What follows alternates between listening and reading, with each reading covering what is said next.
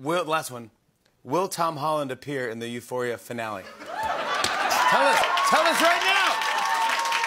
Come on, tell us. I knew, I knew I was gonna hear Tom's name. Come on. Dominic, you can tell everyone right now, is Tom Holland on this weekend? What I can tell you is that Tom's a surprisingly nice guy for being Spider-Man. You know, because you assume as Spider-Man you can do whatever you want. You can walk into any room and just Demand stuff. point at someone's girlfriend. You know what I mean? It, either way. He doesn't do that. He No. points at his girlfriend and kisses her on the mouth. What do you mean by that?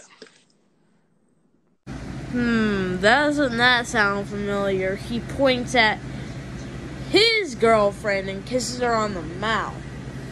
If we put two and two together, he said his girlfriend, like his girlfriend is on the set of Euphoria, and I haven't seen with Tom with anyone else except Zendaya, so that means Zendaya is technically his boy girlfriend. Um, um, um, so, um, because he said his girlfriend. He points at his girlfriend.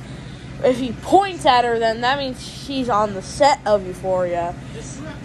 So that means it's Zendaya. It can't be Hunter. It can't be all them other people because, like, I think we would have seen Tom with them if it was them.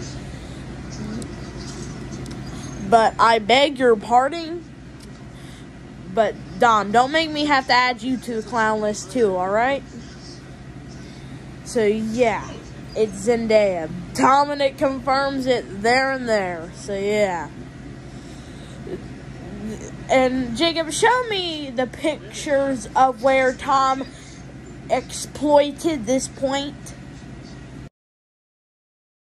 And it's nice. It's a good, yeah, no, I know, sweet. What do you mean by that?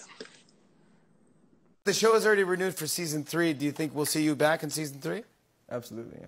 Yeah, that's what I'm talking about.